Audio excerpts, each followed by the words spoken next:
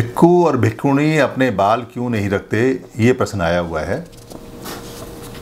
पहला बात तो ये है कि अगर बाल जो होते हैं, वो सौंदर्य को बढ़ाते हैं। महिलाओं की पूरी दुनिया में सौंदर्य को बढ़ाने में सबसे ज़्यादा जो वस्तु काम करती है, वो उनके बाल हैं। बाल उनको घेरा देते हैं, उससे उनकी सौंदर्य के चार चाँद बढ़ते हैं। मनुष्य भी, यानी पुरुष भी बाल रखते हैं, वो भी अपने सौंदर्य को बढ़ाते हैं।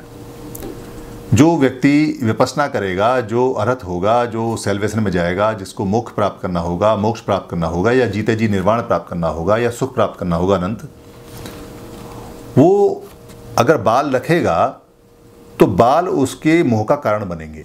वो पानी में अपनी छवि देखेगा, शीशे में अपनी छवि देखेगा, या सामने वाले के चेहरे पे या सामने वाले की निगाह में अपनी खूबसूरती को झलकता हुआ देखेगा।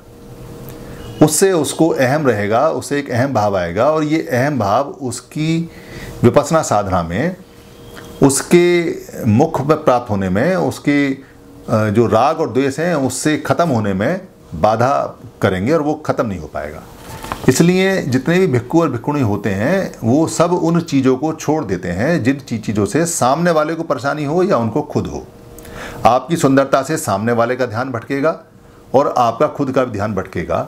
इसलिए उसको छोड़ देते हैं, वो ख़त्म कर देते हैं। ये विनय के नियम बनाए गए और ये समय अनुसार प्रैक्टिकल नियम हैं। एक, सबसे पहले भगवान बुद्ध के किसी के बाल नहीं कटवाए। ऐसा नहीं है कि पाँच भिक्कों के पास जब वो बनारस में गए और बनारस में जाके उन्होंने सबसे पहले ये कहा कि आप सबसे पहले मुंडन करा लीजिए या सबसे पहले बाल हटाइए, तब मैं आपको सिखाऊँगा।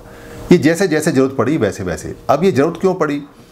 क्योंकि जब आप साधना में बैठते हैं, विपसना में बैठते हैं तो विपसना में और साधना में बैठने पे और जब डीप जाते हैं, बहुत गहरे जाते हैं तो आप देखेंगे कि अगर शरीर का एक बाल भी हिलता है कहीं का तो बाल पे ध्यान जाता है और आप अपने अंदर उतरे हुए हैं।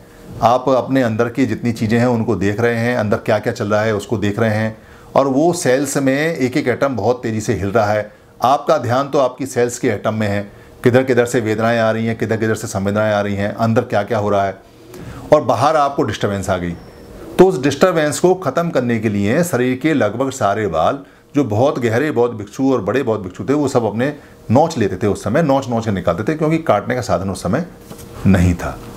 इसलिए बौद्ध भिक्खु और बौद्ध जो भिकुणी होती हैं, या इस परंपरा में, या और भी परंपराओं में, अगर आपने अच्छी तरह से साधना विपसना करनी है तो आपको शरीर को मोह देने वाली या दूसरे को उसमें फंसाने वाली सारी बातें ख़त्म करनी पड़ेगी, उसमें बाल भी आते हैं, इसलिए वो बाल नहीं रखते। धन्यवाद।